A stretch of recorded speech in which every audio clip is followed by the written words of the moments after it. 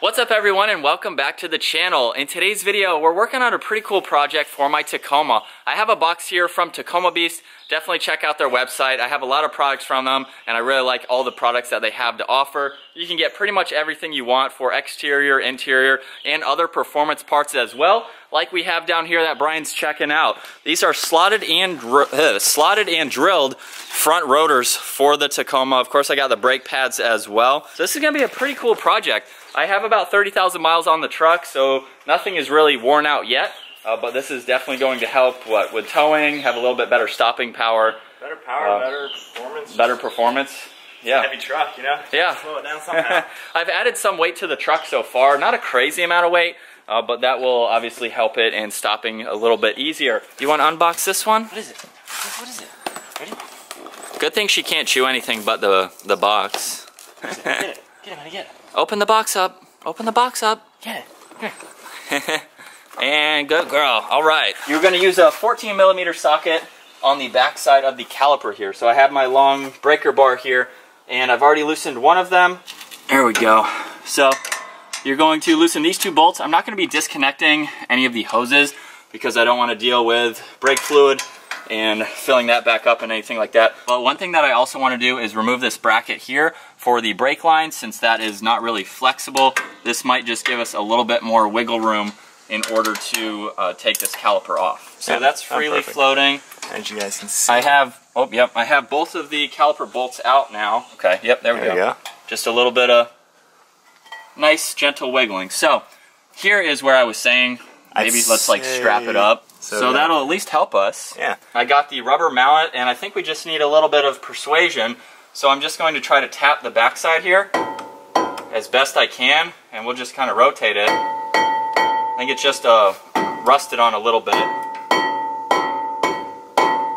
But I don't think that's really doing anything.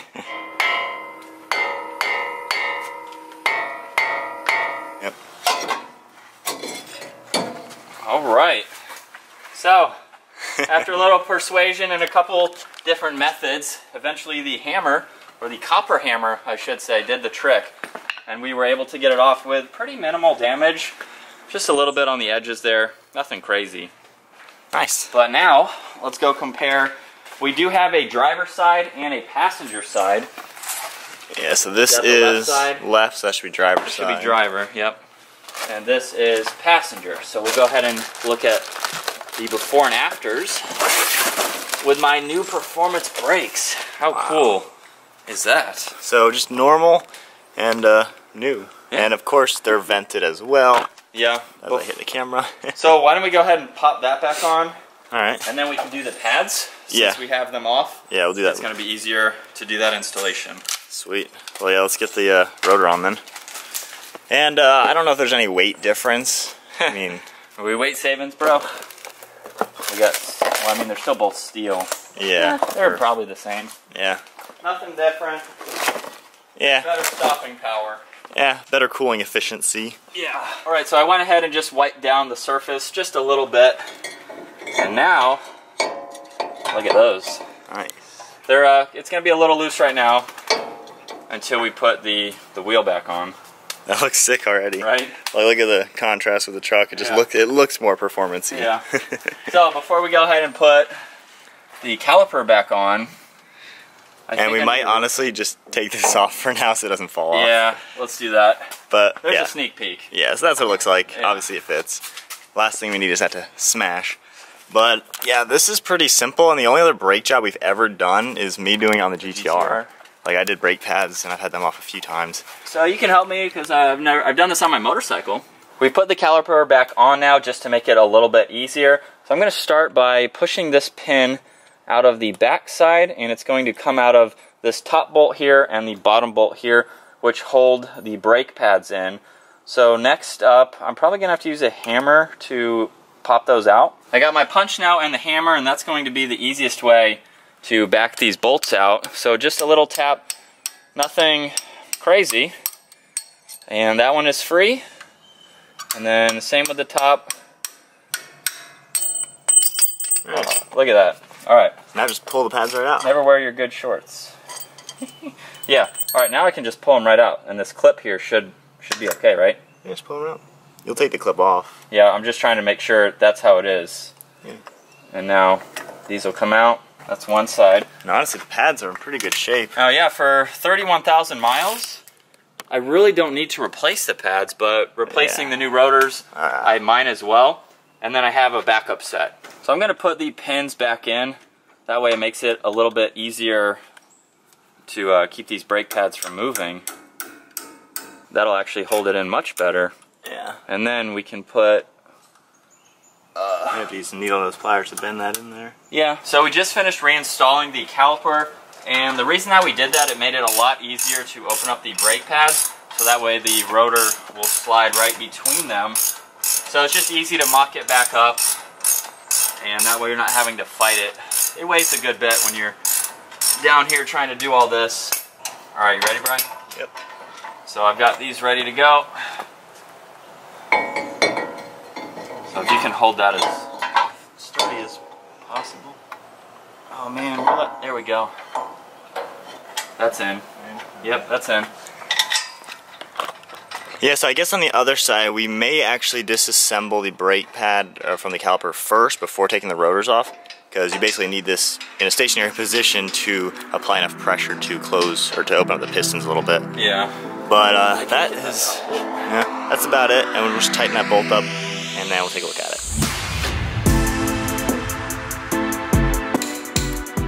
Alright guys, that finishes up one side. Let's go ahead and take a closer look.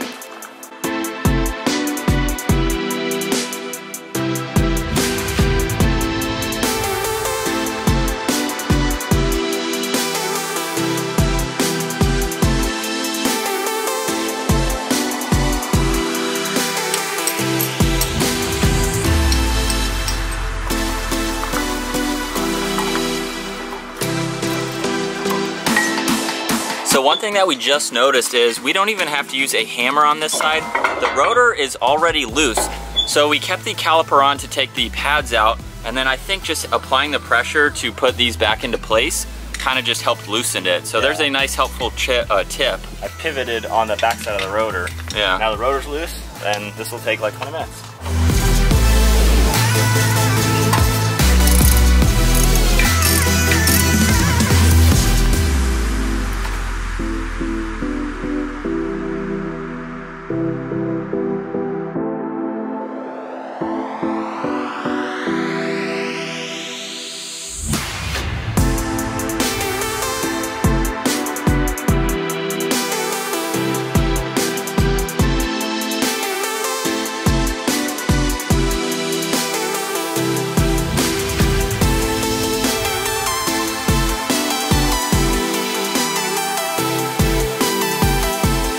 Right, we are all done now. Of course, the second time around goes much smoother than the first time. So we learned a couple tricks.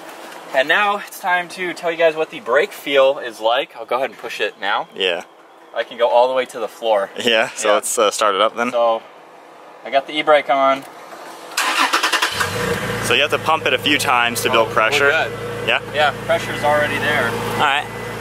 So now we're gonna go for a quick drive, and while he does that, we'll take a quick look.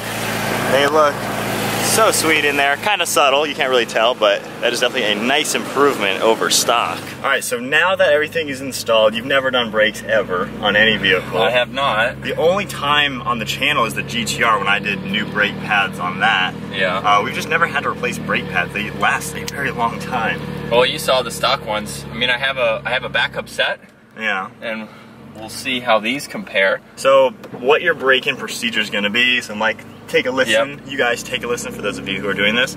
So you do not want to do any aggressive stops down to zero miles an hour. That's not good. So what you want to do, I would say drive around your neighborhood very conservatively, you Yeah. know, get up to you know 20 miles an hour and just apply the brake pedal without really slowing down just to, So we're at 20. yep, so just tap the brakes a little bit. Should I pulsate it or Nope, hold it? Just, just hold it on it. Yeah. Basically, we're gonna let the brake pad material kind of slowly work its way onto the brake pad. Yep. So just do that, you know, take a lap around your neighborhood, and then you're gonna get out on the main road, and actually we'll just switch right to there. All right, now that we are up on the highway, what we're gonna do is just a few conservative runs right now. We're gonna get to about 50 miles an hour, and Yep. then half brake pedal press, just get us down to like 20, like a firm press. That's pretty good. Yep. So doing that, and you're basically gonna do that three times back to back, and then now, so pretend you do that two more times, Yeah. and then you're gonna get up to 60 miles an hour and do the same thing, half brake pedal, still a firm press, but not slamming on the brakes. So getting up to about 60, keep it up a little bit more. So now that we're going 60, hit the brakes a good amount, like half pedal press. Yep. All right, so then down about 20. And so just do that three times, and then once you've done that, so that is six, uh, six different tests, do the same thing. Sounds good. so now that you've done that, you know, six times, from 60, do a much firmer press then. You'll do that three times at, you know, 40, three times at 60. And that's pretty much all you need to do. Just don't come to a complete stop. Your brakes are gonna get very hot after all this, and that is basically breaking them in. Performance cars is a little more important to really, really do it perfectly because you use your brakes a lot for performance driving. This Yeah. truck, I mean, you're not driving a big performance vehicle, Yeah. but it's still good to break them in like that. So that's kind of all you gotta do. Just, you know, 10 runs of decelerations, uh, We'll start a off. couple more. Yeah, and uh, start off conservative. Don't slam on the brakes yet. And after you heat them up a little bit, slam on them a little bit harder. And that's pretty much it. I hope you guys enjoyed today's video. Once again, check out Tacoma Beast. I'll have a link to their website in the description below. If you enjoyed today's video, give it a huge thumbs up. Consider smashing that subscribe button so you can stay tuned and see more of our videos. stay up to date with all of our videos. We'll see you guys in the next video.